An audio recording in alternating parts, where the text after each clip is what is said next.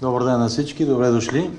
През конференцията на партия АТАК е по повод а, моето участие като кандидат за кмет на София и листата, която представям, част от листата, не, не е цялата, тъй като сме се постарали да изпълним почти до край. Но тук са основните хора около мен, са 8 души, които са кандидати за районни кметове на София, на райони на София. Така, ще започна от мое дясно. Радостин Василев е кандидат за район Искър. Той е по образование, по специалност е в сферата на националната сигурност. Една тема, която е много актуална сега напоследък, но аз на хора като него разчитам за, за това да, да, да подобрим сигурността на София. Вече говорих в няколко медии по този въпрос. Тук искам да уточня, че до мен са хора, които са а, отговорници, координатори на атака през годините. Това са пет човека и имаме още трима души, които са, така да се каже, сега се включват като районни кметове, като кандидати за районни кметове и а, координатори, активисти на атака, което е радващо, защото това означава, че имаме интерес към партия Атака. Интересът към партиите не е спаднал, за отличие от това, което се говори обикновено. Напротив, мисля, че тези избори ще покажат едно възраждане на Атака, едно възстановяване на позициите ни, които сме имали преди години и едно така заличаване на внушението от някои политически как да кажа, политически браконери, ще е най-точната дума, които последната година-две внушават, че атака вече се е заминала, сега на мода е ВМРО или МВР, както някои наричат. Не, не си е заминала атака и ние сме доказателство за това. Продължавам с Ива Костадинова, която е отговорник за район Лозенец и излиза за районен кмет на район Лозенец. Тя е млад човек. Сега учи, завършва. Следващия до нея е Вайло Докозанов, от години е отговорник за район Линден. Той е публична администрация по образование и е човек доказал се като координатор на атака. Опита ни в избори. Димитър Димитров, не, тук е Румен Русев, Димитър Димитров е най-отляво е а, отговорник за Връбница, също стар координатор на атака, за да обобщя хората, които до тук са били през годините и Величка Георгиева за район Надежда, които са били през годините доказани координатори и не са отстъпили от своите позиции, въпреки превратностите на политическата динамика. И така до мен отдясно е Румен Русев, който е настоящ районен кмет, изпълняващ длъжността районен кмет на младост. Той прие и аз съм много горд с това, че той прие а, да излезе от партийната листа на Атака като районен кмет, кандидат за районен кмет на район Младост и да също така и в листата на едно от челните места, на трето място всъщност. А, това е човек, който може да кажем, че неговия девиз е стига експерименти, стига случайни хора, стига криминални екшени с районни кметове, да работим. Той, това е човек, който знае как да си върши работата, има подкрепата на жителите на младост и със сигурност ще победи в тази битка. Отляво до мен е Борислав Иванов. Той е специално с публична администрация, човек, който има опит и на общински съветник, и в администрацията. Бил е вече общински съветник от Атака, отговаря за Люлин и излиза като районен кмет на район Люлин. И остава Борис Гаврилов, който е, представлява район Сердика, ще бъде кандидат за районен кмет на район Сердика. Разбира се, всички, които изброявам, са и в листата за общински съветници. С един и същи номер на бюлетината, номер 4. А, така че те всъщност в най-лошия случай биха станали общински съветници. След малко ще кажа каква е идеята за присъствието ни в съвета. Борис Гаврилов е председател на Съюза на автомобилистите в България. Много известен сред всички, които се занимават, всъщност всеки българин го интересува този въпрос. Това е човек, който е много подкрепен в района, където живее, работи и смятам, че е много сериозен и възможният кандидат, успешен кандидат за районен кмет на Сердик. Тук са и зад мен вече и имена от листата, които са, не са на кандидати за районни кметове, но са достатъчно добре стоящи и добре защитаващи позицията, политиката на атак. Тук имаме хора, които са от различни сфери, от, като започнем от сигурност, бизнес, спортните среди, с доказани постижения. Аз не знам дали да изборявам един по един всички. Имаме, имаме хора, които са част от екипа на телевизия Алфа. Това е една телевизия, която създадох с огромни усилия преди 8 години. И много хора така прогнозираха, че няма да посъществува. Тя е жива и здрава. В момента е вече това е една новина за вас, колеги. Телевизия Алфа е телевизия на фундация. Вече не е партийна телевизия. Излезе от тази опаковка, защото тук 20 години слушам как партиите са нещо лошо, но няма друго измислено. Както и да е, телевизия Алфа вече не е чисто партийна, тя е телевизия на фундация Алфа.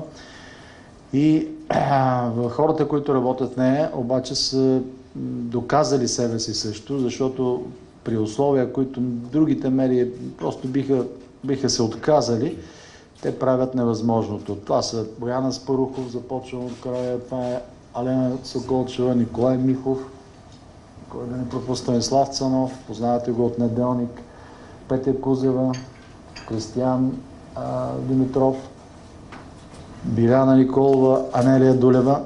Това са все млади хора, които ми дават и на мен енергия, да се чувствам поне три пъти по-млад и които много ми помагат в работата да просвещаваме хората, защото нашата работа не е само да се гласува или да натискаме копче в парламента.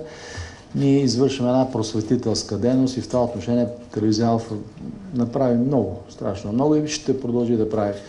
А, тук зад мен са и хора, които са от бизнеса. Силвия Дойчинова, скромно тук заседнала зад мен. Не се вижда, но това е един човек, който е много добър менеджер, управлява сложното име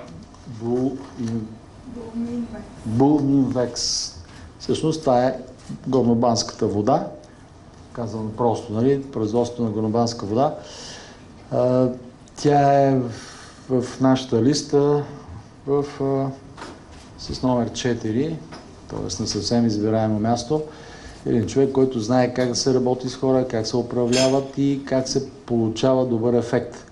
Много полезен наш сътрудник ще бъде в съвета, защото там всичко опира и до менеджмент, и до начин, модел на мислене, след малко ще кажа малко няколко думи за модел на управление.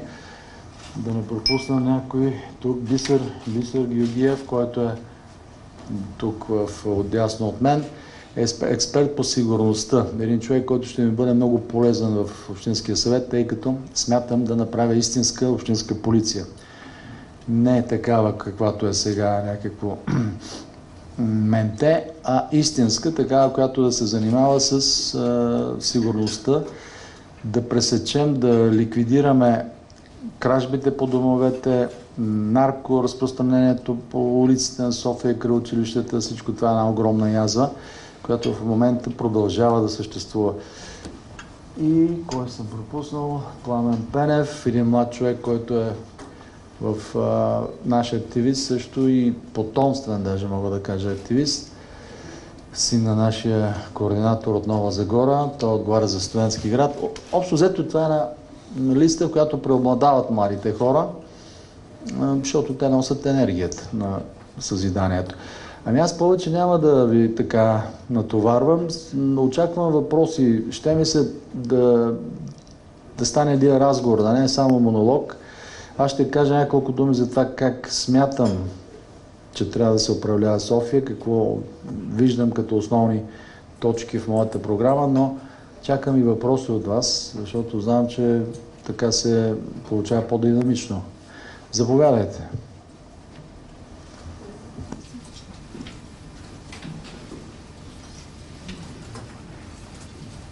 Тихомир Игнатов, БНТ. Кои са основните приоритети във вашата програма за управлението на София? Вие сте чули вероятно видели, че даже на заглавната страница на, на тук, на, на флайера, на рекламния материал е справянето с гей, с гей парадите. Много от вашите колеги ме питат това ли е най-важният въпрос. Аз смятам, че е важен въпрос, защото той води до така, морално разложение на нацията. Но аз ще, ще подчертая нещо друго, което го има в тук десетте точки изборени също в този рекламен материал. И това е наистина смяната на модела за управление. Чуваме от месеци насам претендентката за кметския пост Майя Манолова, която говори, че иска друг модел на управление. Само, че не казва какъв. Друг модел, но не е ясно какъв. Аз го казвам ясно. Другия модел на управление, който може да смени сегашния, е приключването с така наречените концесии, всички форми на приватизация на публичните услуги, които водят до поскъпване на цените, влушаване на услугите и в крайна сметка до щети за така, обикновените граждани на София. Имам предвид концесията Софийска вода, която трябва да се прекрати и ще бъде прекратена. Имам предвид поръчките за, например, даването на а, услугата почистване на София на частна фирма или частни фирми на стоеност 205 милиона. За тази настояща година 205 милиона лева скъпи колеги, отиват в фирми, които не почистват добре. Още над 500 милиона отиват пък за ремонти. Знаете тези истории с ремонтите, правят се дълго, след това се оказва, че са некачествени. След това започват едни разправи. Общината казва, ще заведат дело, но това дело може да продължи и 2, и 3 години и така нататък. Всичко това може да се и трябва да се прекрати по един радикален начин. Какво предлагам аз? Връщане в общински ръце. Тоест тези, тези услуги, тези дейности да бъдат работа на общинска фирма или общински фирми. С добре платени менеджери, с много добре платени служители и работници, но с система на контрол и бърза реакция, търсене на отговорност и коригиране на ръководния състав, ако нещо не е наред. Това може да стане само ако фирмата е общинска и тя е подчинена на, на кместото. Иначе другото е просто е, наливане на огромни пари, все повече и повече, е, обогатяване на олигарси, които стават все по-богати за наша сметка и затъване на града в е, едно лошо, недобро състояние. Никой не би се съгласил, че София се чисти добре в момента. За зимата да не говорим. А, това е наистина смяна на модела на управление. Аз не виждам и не чувам това да го казва представителя на, така, на левицата, защото Майя Манова е подкрепена от БСП. БСП нямат свой кандидат. Би трябвало левицата да претендира за това да не а, публичните услуги да, да са в общински ръце. Както това стана в Париж, там, а, там се пребориха, а, приватизацията на водата, на подобни услуги беше прекратена и върната в общински ръце, защото се оказа, че не работи добре. Тук обаче левицата всъщност е на същото мнение, че трябва да продължи приватизацията. Може би, всъщност Майя Манова не иска да смени модела на управление, а иска просто тя да дава поръчките. Това е друго обаче. Това не е смяна на модела. Смяна на модела е това, което аз предлагам. Преминаване, връщане в общински ръце на тези дейности, които сега са чисто приватизирани, без, почти без никаква форма на контрол.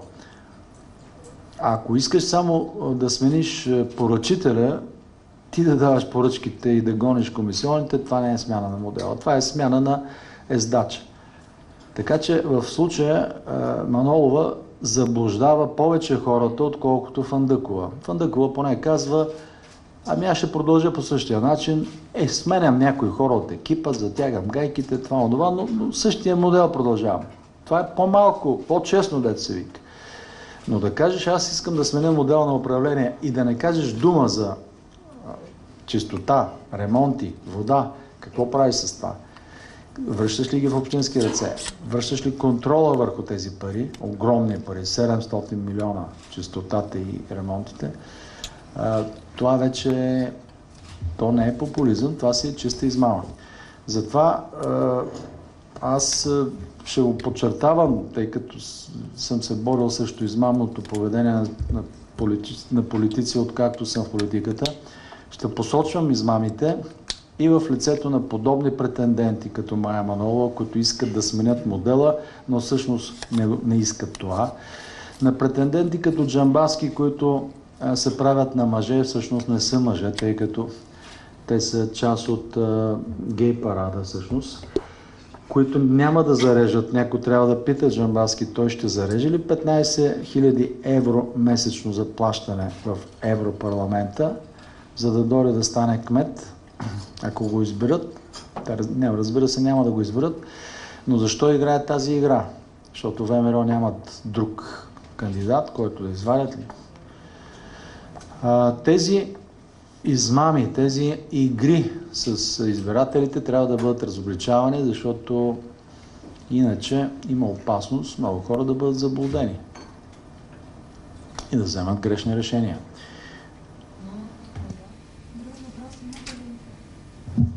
Иван Гергов, Телевизия Европа. Основна точка също в програмата ви е ревизия на бюджета. Цитирам, пренасочване към кварталите. Пояснете по тази си политика.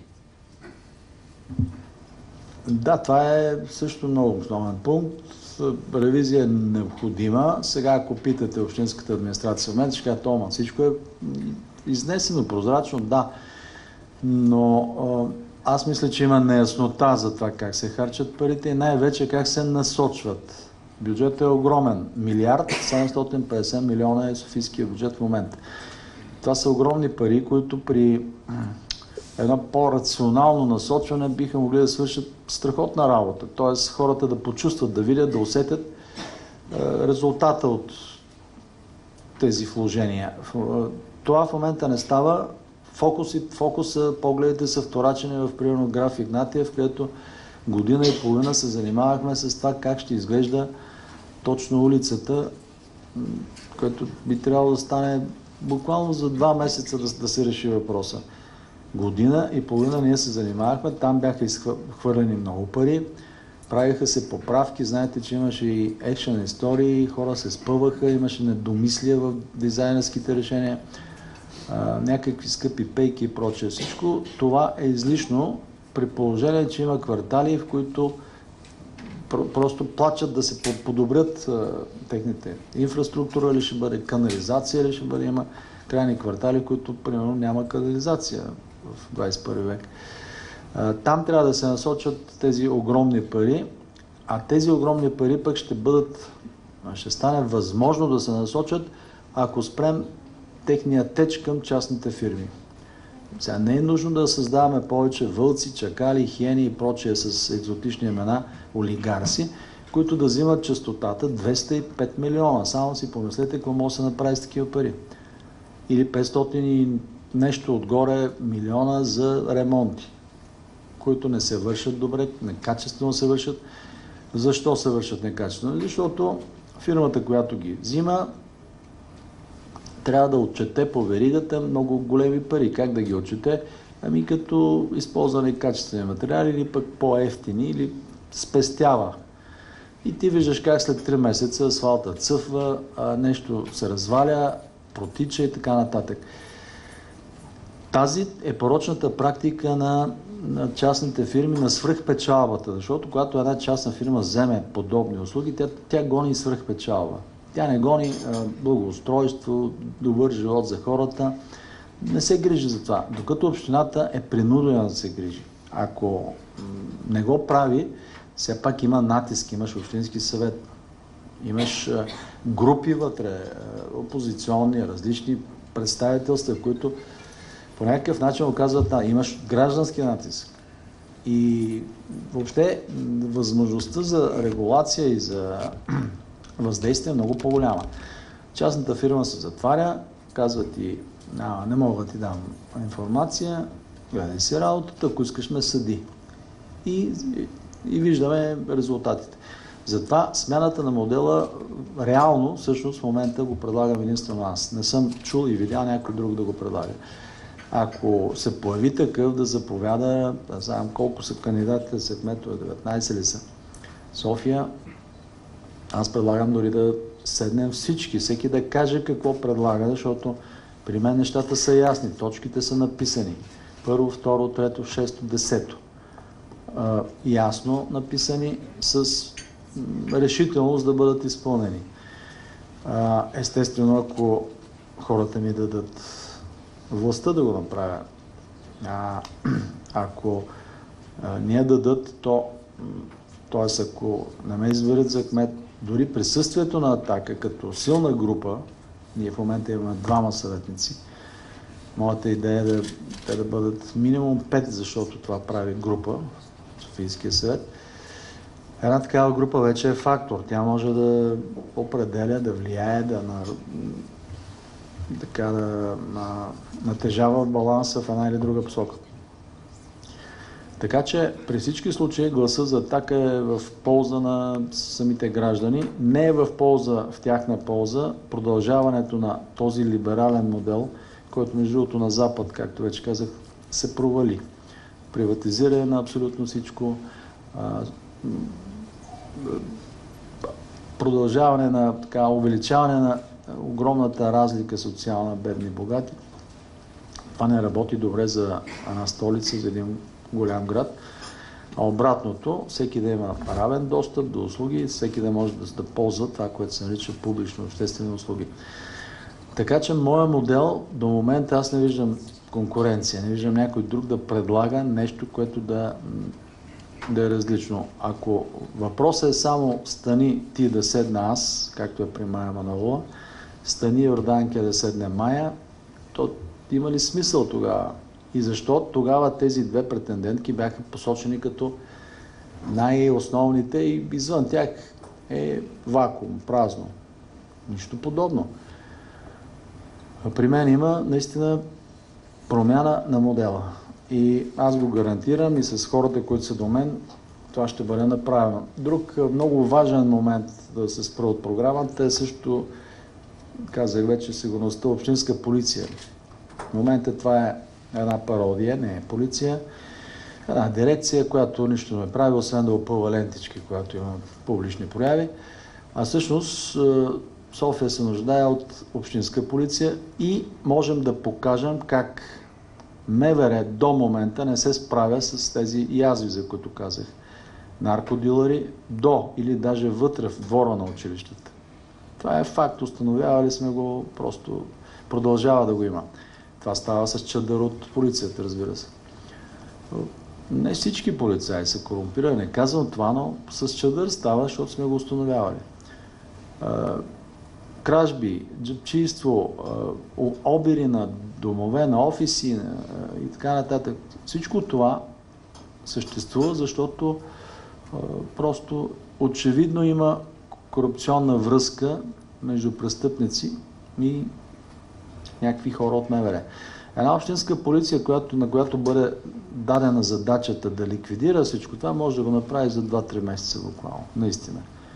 Защото всички тези апаши, бандити просто могат да бъдат строени две редици и е, да приключат тяхната дейност.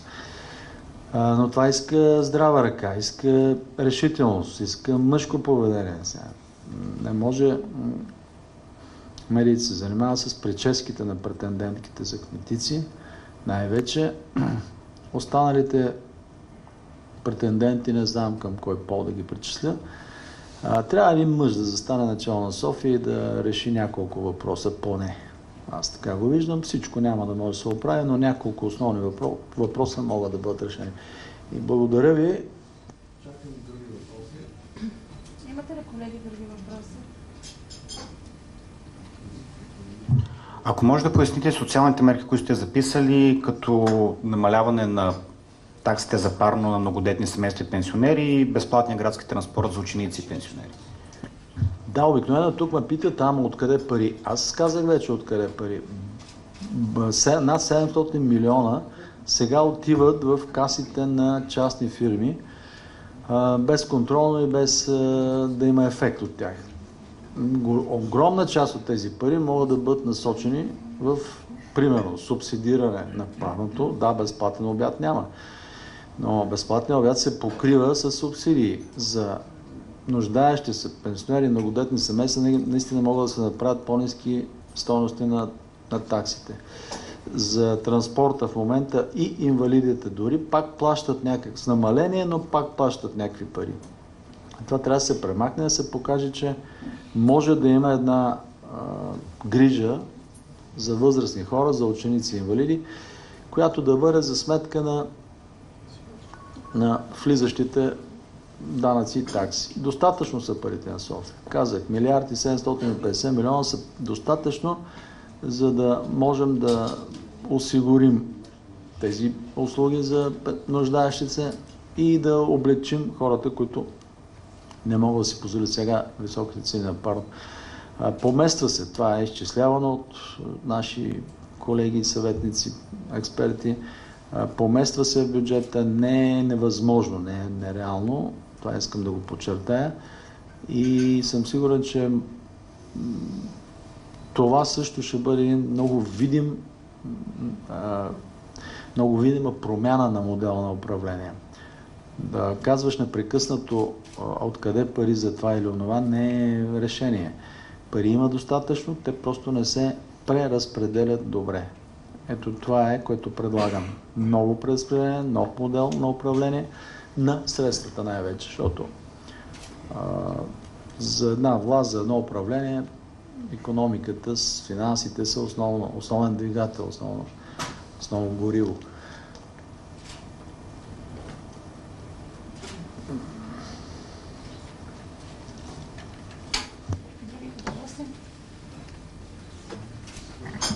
Александра Иванова, телевизия Евроком.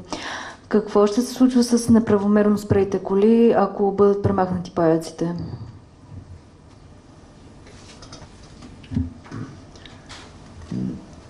Премахване на паяците, аз имам предвид прекратяването на този тормоз, който сега, на който сега гражданите са подложени, ако закъснееш с минути, с часове, с, даже с малко, ти дигат колата и ти дори не можеш да разбереш къде точно отива а, неправомерно спрели, това е въпрос, който трябва да се изясни. Какво значи неправомерно спрели? А, въпросът с зоните също може да се регулира. Имаме тук специалисти, които са готови с концепция как да се регулира движението, поставянето на знаци, за които сега няма система и концепция, поставянето на светофари, за които сега няма концепция. Аз ще дам думата на господин Гаврилов, който е наистина специалист в тази област. Нека с няколко думи само да поясним. Идеята за паяците е следната. Глобяването на неправомерно спряла кола е едно. Репатрирането на кола, която е неправомерно спряла е второ. А репатрирането на кола, която пречи на движението е нещо съвсем различно. В момента паяците работят три в едно. Първо. Второто нещо. Въпроса за зоните. Всички знаете, че в момента се подготвят почти цяла София да стане жълта зона. Без да са осигурени места, без да, без да имате право да спрете, но трябва да плащате. Това ще стане, може би, от следващата от после, или от последващата година. Има го като идея. На господин Сидоров идеята за спиране на турмоз е перфектна, но аз бих добавил едно много важно нещо. Ако ние успеем да вземем кметството на София, може би за 4 години няма да има дупки по улиците. Затова имаме много сериозна програма. Тротуарите ще бъдат тротуари, без да има коли върху тях. И редът ще бъде възстановен. Аз мятам, че само това си заслужава гласа на избирателите.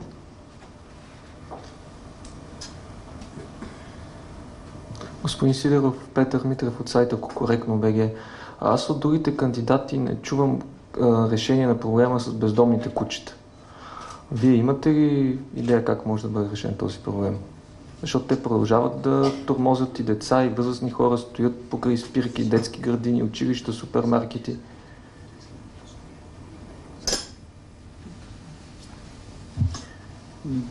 Това даже не знам защо въобще стои такъв проблем. Според мен то може да бъде решен много бързо, много ясно и радикално. По-скоро няма желание да бъде решен по различни причини, вероятно има економически сред тях.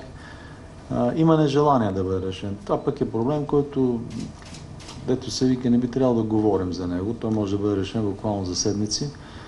И не виждам пречки за това, ако наистина както казва и колегата, имаме кметството в ръцете си, възможността да го направим. А, и ако се отстранят всички играчи по веригата, които сега в момента печелят от е, какви ли не дейности, свързани с бездомни кучета и с тяхното прибиране или пък е, убиване, чувал съм и такива е,